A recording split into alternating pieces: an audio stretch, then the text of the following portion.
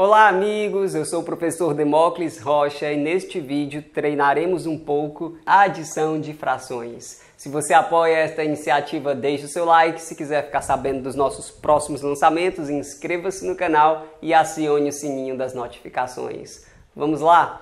Eu vou começar utilizando a estratégia que o pessoal mais gosta, aquela rapidinha ali, né? Temos aqui 8 décimos mais 9 vinteavos. O pessoal gosta dessa técnica aqui. Você coloca um traço grande de fração, aí multiplica aqui, ó, 10 vezes 20 é 200, escreve aqui. Aí você multiplica assim, ó, 8 vezes 20 é 160, escreve aqui. Pronto. Aí multiplica assim, ó, 10 vezes 9 é 90, escreve aqui. Beleza? Aí é só repetir aqui embaixo o 200 e fazer a adição aqui em cima. 160 mais 90 é igual a 250. Beleza? Esse é o resultado. Está certo, está ótimo, está tudo bem.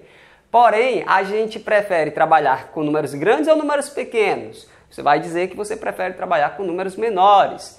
Então, a gente evita deixar a fração desse jeito aqui. Essa fração claramente pode ser simplificada e a gente vai simplificar dividindo em cima e embaixo por um mesmo número. A gente pode dividir por 2, por 5, por 10 aí, mas eu vou dividir logo pelo maior número que eu estou vendo que dá para dividir. No caso, eu vou dividir por 50, porque aí eu simplifico mais rapidamente, tá?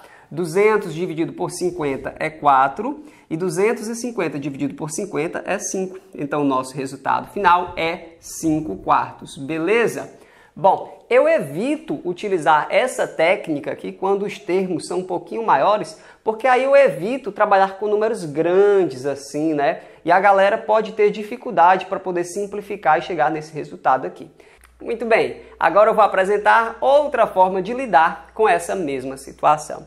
Olhando para os denominadores dessas frações, eu percebo que o 20 é um múltiplo do 10. O 20 é 2 vezes 10. Então é possível substituir essas duas frações por duas novas frações com denominadores iguais a 20. É muito fácil fazer isso. Essa segunda fração vou só repetir, 9 vinteavos, mas para que essa daqui apareça com denominador 20, é só eu multiplicar em cima e embaixo por 2, né?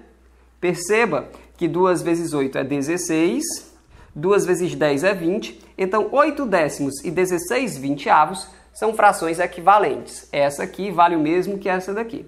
E quando as frações têm denominadores iguais, é moleza, basta repetir o denominador, que no caso é 20, e 16 mais 9 é 25. Ficamos com 25 sobre 20, fração que pode ser simplificada Basta, para tanto, que você divida em cima e embaixo por 5. Vamos fazer isso agora? Aí todo mundo, vamos! Pois muito bem. 25 dividido por 5 é igual a 5 e 20 dividido por 5 é igual a 4. O resultado tinha que ser o mesmo, né? 5 quartos. Não importa qual técnica você achou mais fácil, o que importa é que este vídeo foi feito de coração para te ajudar. Se ele te ajudou e você quiser me ajudar de volta, deixe um comentário com uma carinha sorrindo, compartilhe o vídeo. Amanhã aqui no nosso canal você vai ver um vídeo com uma resolução para uma equação do primeiro grau. Se você já está estudando esse assunto, deixe um comentário com a solução para essa equação aí, eu vou gostar de ver. A gente fica por aqui. Um abraço e até a próxima. Tchau!